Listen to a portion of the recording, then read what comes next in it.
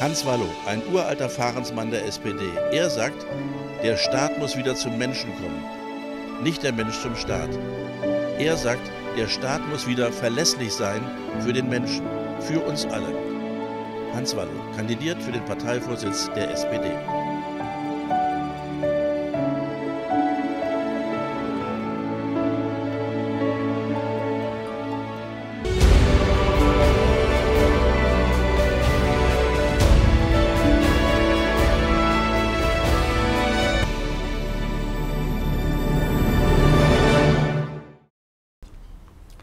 Herr Wallau, seit Bestehen der SPD gab es 13 Vorsitzende.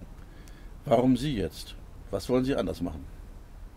Ich habe äh, sehr viel Erfahrung, operative Erfahrung, strategische Erfahrung, hatte als Mitarbeiter die Möglichkeit, neben und für Minister zu arbeiten, zwei Bundeskanzler wie Willy Brandt, und äh, das will ich einfach meiner Partei anbieten. Also gute Lehrzeit. Und jetzt kommt der Meister. Sind Sie besser als die anderen? Ja, ich glaube, ich weiß, wie Macht ausgeübt wird.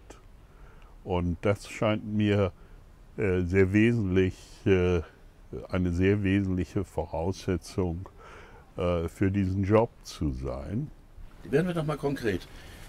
Es gibt ganze Berufssparten, die unglaublich wenig Geld verdienen, zumindest für das, was sie tun. Vielleicht klingt das alles sehr gut, aber da gibt es Tiefbauarbeiter, die bei 35 Grad im Schatten in drei Meter Tiefe irgendwo unten bei Rohren buddeln. Da gibt es die Arbeitsangst und Zukunftsangst in der Automobilindustrie, weil da viele Arbeitsplätze verloren gehen werden, wenn die Elektroautos dann richtig Fahrt aufnehmen. Wie wollen Sie diesen Menschen die Angst nehmen, zum Beispiel?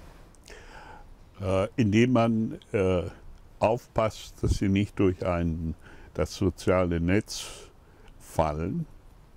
Äh, wir können nicht allen helfen, aber äh, wir müssen zumindest äh, jetzt äh, darüber informieren, dass es eine Welle von Entlassungen gibt durch Einsatz von Robotern.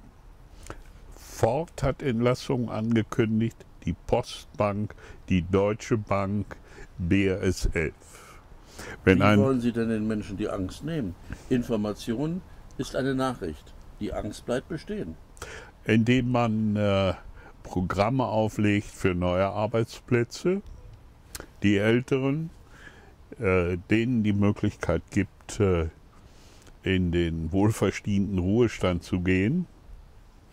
Also Voraussicht ist notwendig und äh, die SPD braucht unbedingt ein Zukunftsprogramm auf eine Perspektive bis 2035, äh, in dem alle diese Fragen offengelegt, diskutiert und in die Gesellschaft kommuniziert wird. Also die Agenda 2035.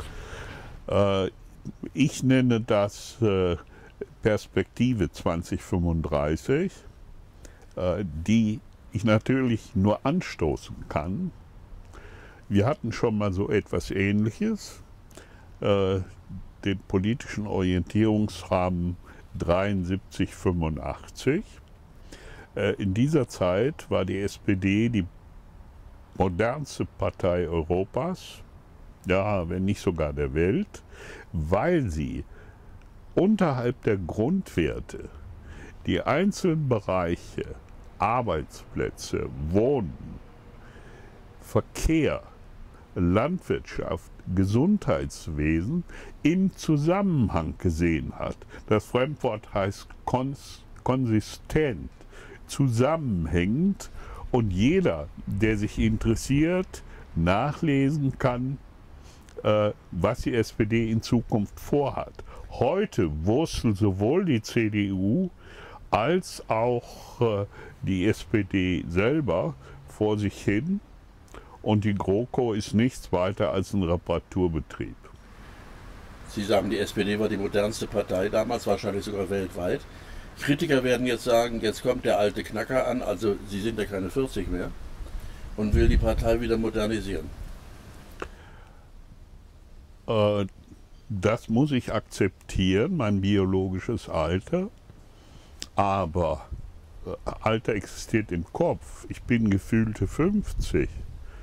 Äh, zudem, Alter ist äh, für Qualität nur ein Kriterium bei Rotwein und Käse.